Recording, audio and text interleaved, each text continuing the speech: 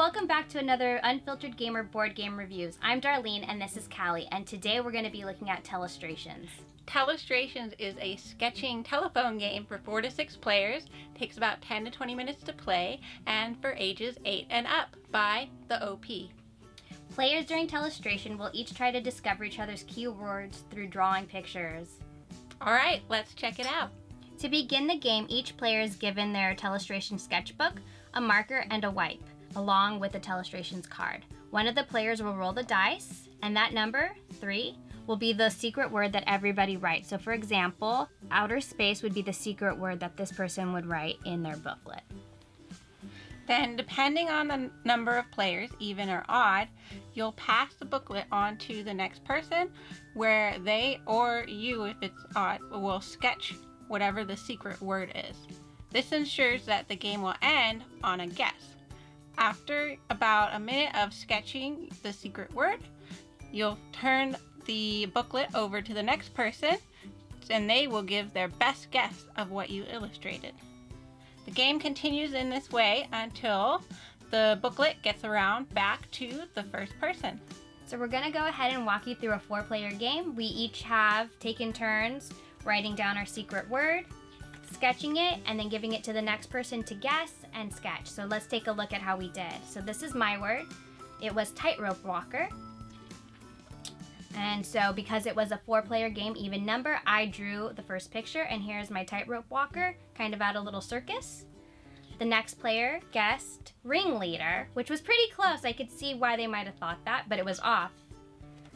So the next person drew a ringleader and that's how it ended. So for my guest to award points, I would give the best drawing to number three, which was Michael, so he would get a point as my favorite drawing. And I think Callie, who was number two, would get my favorite guest because Ringleader was pretty cute.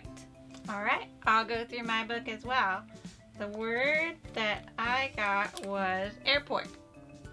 I have here my lovely drawing of a little airport, a couple little planes there. And then someone guessed it, right? Airport. And then someone else drew airport with some planes actually flying out, which is cute. And the final guess was correct, airport. So I get a point for having the word match the guess right at the end. Which I did not guess, sadly. And then I'd give Darlene a point for her Yay. awesome drawing. Yeah. And um, Michael a point for his guess. And play continues like that for multiple rounds until you want to end the party game. Mhm. There's also some extra rules if you want to be a little bit more competitive with Mm-hmm. the scoring and some other additional things you can do to, Twist it up. yeah, twist it up, add some variety to the game. So what are our final thoughts? Mine was it's a hit. I enjoyed being able to play it with friends. It's a lot of fun. I also like that you can play this game with kids and adults during big family gatherings.